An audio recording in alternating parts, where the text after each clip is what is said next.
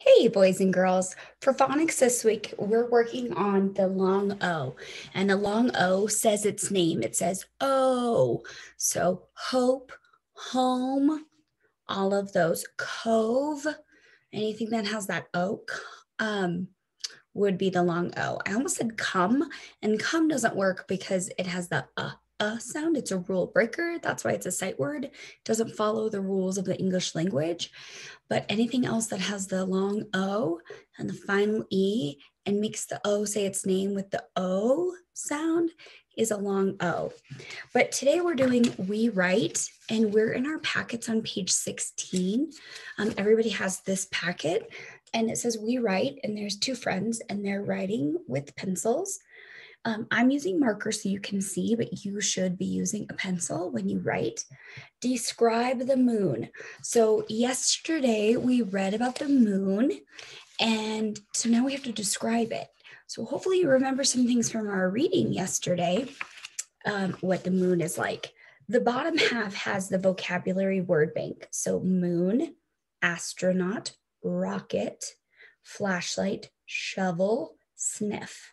Now, both of these, rocket and shovel, have the O in them, um, but they're not a long O. Rocket, it actually sounds more like a short A. Shovel sounds like a U. So those are both rule breakers. Astro, O, not. That is a long O, but it doesn't have that final E, so it doesn't fall into this week's, but it does have a long O. So we're going to describe the moon. What I remember from yesterday is that when you're on the moon, there's no gravity. So you float around. If you remember from our story yesterday, it said they bounce. They bounce because there's no gravity. All right. They also said something about them being light um, as air. I think they said, yeah, they said we're light as air. And then they also said it's dark.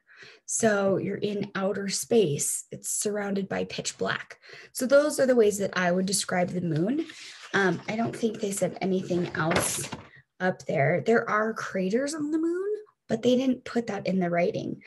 Okay, so um, I would start out with the moon is because we're describing the moon.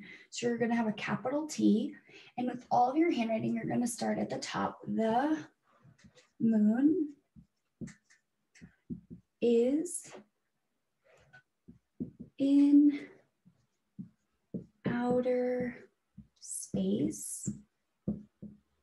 So it is dark. Okay, the moon is in outer space, so it is dark. There is no gravity on the moon. So gravity again is what pulls you down. So I'm able to sit in this chair because gravity is pulling me back down to earth. The moon doesn't have that. So when you go to the moon, you're bouncing and bouncing and bouncing. And if you let go of something, it just floats away. There's nothing pulling it back down, which is that gravity. So it says the moon is in outer space, so it is dark. There is no gravity on the moon. So you could write something that you remember about the moon from the reading yesterday, but um, that's really what they said in the story is that they have no gravity because they're bouncing and they're light is air and that it's totally dark there. So um, good luck. You're on page 16 doing We Write. Bye, boys and girls.